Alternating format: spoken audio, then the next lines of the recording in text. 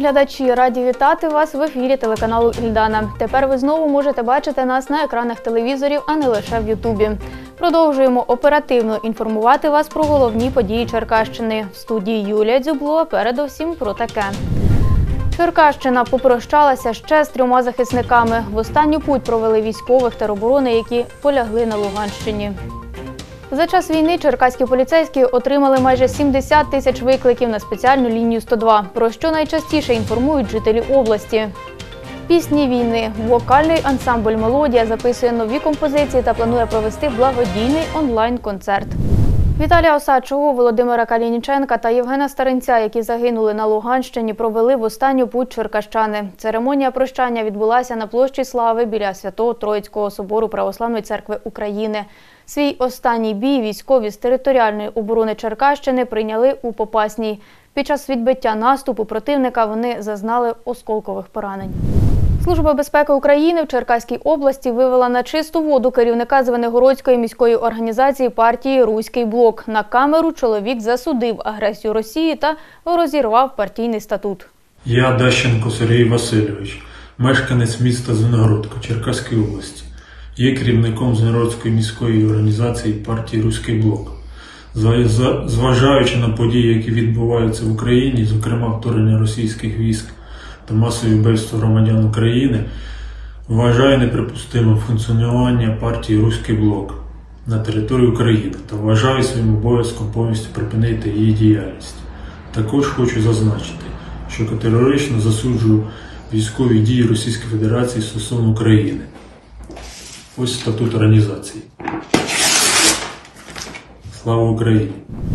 Черкаська міська рада розпочинає процедуру збільшення вартості проїзду в маршрутках. Про це під час свого відеозвернення повідомив міський голова. За його словами, на такий крок йдуть через підвищення вартості на пальне. На сьогоднішній день е, виникла е, тимчасова відсутність е, пального на автозаправочних станціях в зв'язку з аварією і ракетним ударом по Кременчуському нафтопереробному заводі.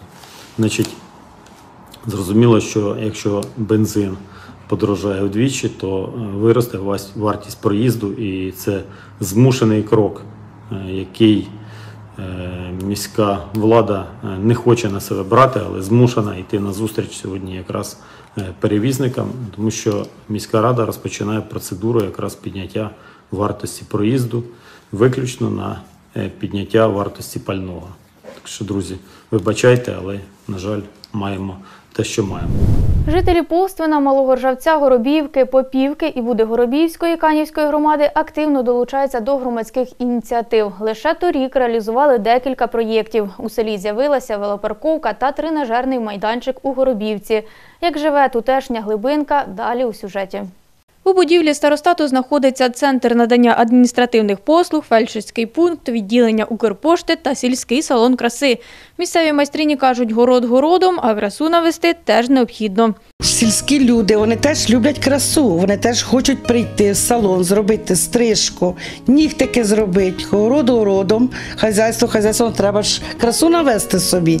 Маємо для манікюру все, маємо і лампу для сушки, і для підставку для рук, фрезер, і крісло маємо для стрижки, і для укладок. Тут відновили і занедбану криницю. Місцеві закидали її сміттям та непотребом. Староста Полствинської громади каже, завдяки небайдужим колодязь вдалося прибрати та очистити. Тут у нас була закинута сільська криниця.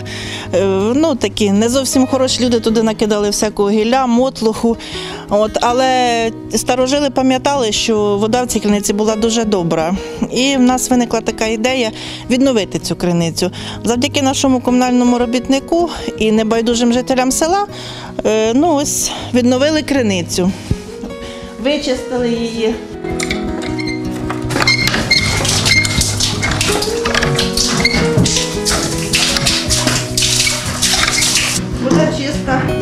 Смачна. У селі Малий Ржавець є бібліотека. Люди часто заходять почитати газети. Для юних читачів тут є мистецький куточок. Дітки цікавляться. Ось такі в нас журнальчики, фантазер. Це все місце для того, щоб малювати.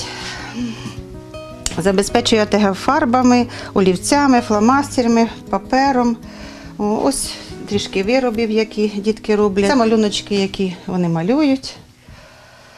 О, це місце, де займаються діти е, в'язання, там вирізають різні квіточки, різні аплікації. Люди активно долучаються і до волонтерської діяльності. Віра Козін допомагала робити тушонки на передову для наших захисників. Жінка розповідає, її внук Богдан теж на передовій, проте не знає, де саме. Привезли, позакатувала, зажими понадівала та й, та й ставлю в котел, в казан та й варю. Два часа поки закипить, а чотири, а чотири вариться. І в мене й внук військовий, то треба допомагати. Богданчик, Богданчик, бажаю успіхів вам усім. Ну, і перемоги швидкої. Ну, він десь їх десь вивезли, десь не кажуть мені де. То я не то я й не допитуюсь. Так, же, да. Все хорошо, якби тільки мир був. У місцевих селах люди зазвичай займаються господарством. Майже у кожного є худоба. Родина чупилок, окрім звичайних курей, індиків та свиней, розводять голубів. Пані Людмила каже, це для задоволення. Тримаємо отаких пташок красивих, як оце в нас ось є у господарстві.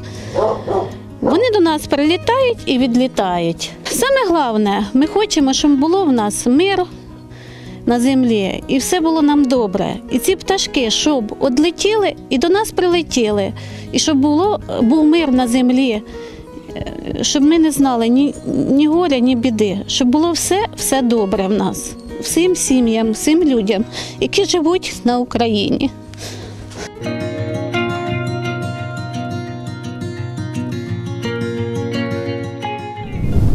Найбільша кількість внутрішньопереміщених осіб знайшла прихисток у Черкаському районі. Допомогти людям адаптуватися до життя в нових умовах це те, на чому зосереджена увага органів влади, повідомила у Фейсбук голова районної державної адміністрації Валерія Бандурко.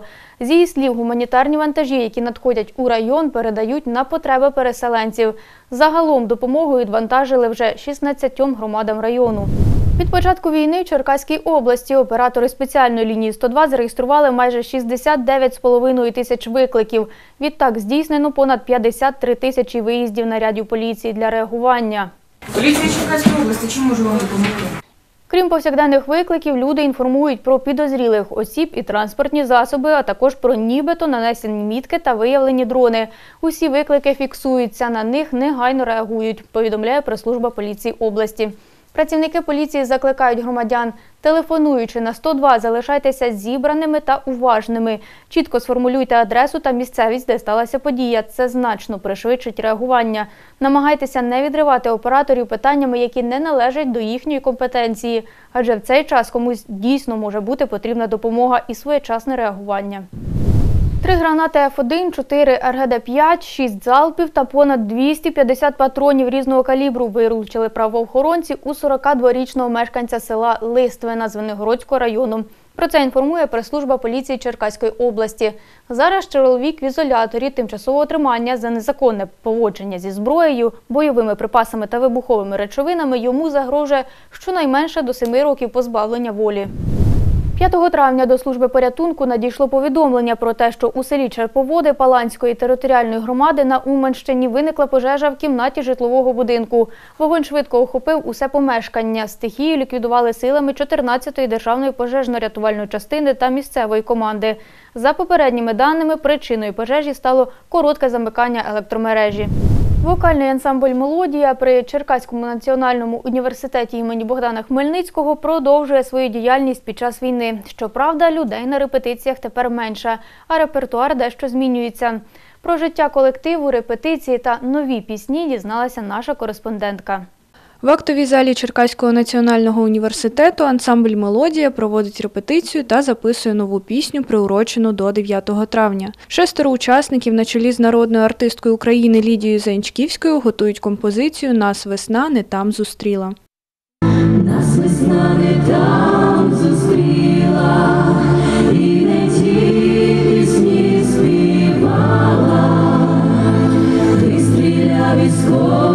стріляв і я набої подавала.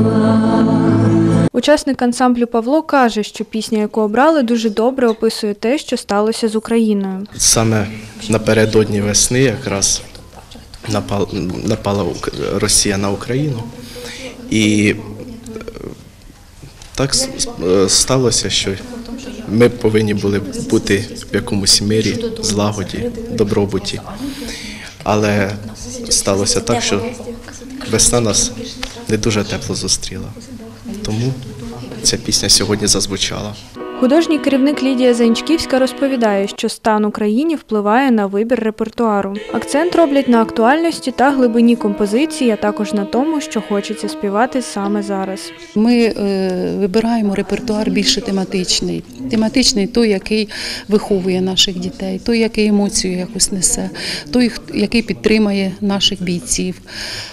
І я хочу вам сказати, що зараз такий час, що навіть інших пісень не хочеться і брати. Вибираємо ті самі кращі, які несуть якусь глибину, несуть ідею. І ті, які красиві, мелодійно красиві. За словами Амелії, ще однієї учасниці, збиратися було морально важко, а співати перші місяці взагалі не хотілося. Проте всі розуміють, що є фронт військовий, а є культурний. Люди, молоді люди, такі як ми, ну може на пару років старші, захищають нашу країну кожного дня. Ем, Це не може. Я просто захоплююся ними, чесно. І мені хотілося би, аби люди мого віку, які залишились тут, пам'ятали про це і не забували, що в нас іде війна. І я вважаю такі пісні зараз е, співати дуже актуально і, і дуже важливо. Репетиції хоч і складно, але проводять, збираються за можливості. Невдовзі ансамбль збирається провести сольний благодійний концерт, про який поки що домовляються із керівництвом. І ми хочемо провести благодійну акцію е, як допомога нашим е, воїнам. Ну, така в нас е, ідея. Це великий пласт роботи, який потрібно підняти. Це цілий сольний концерт зробити. Ну, такі в нас плани поки що. Репертуар великий, ну за, за неможливістю в такий час е, так по-справжньому працювати, то працюємо як можемо, але дуже стараємося всі. Місцем проведення швидше за все буде одне з бомбосховищ або підвальне приміщення. А зібраними коштами учасники ансамблю планують допомогти захисникам. Ірина Марченко, Олександр Костирко, служба новин телеканалу Ільдана.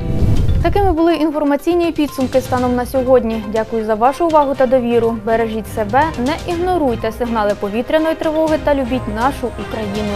До зустрічі в ефірі.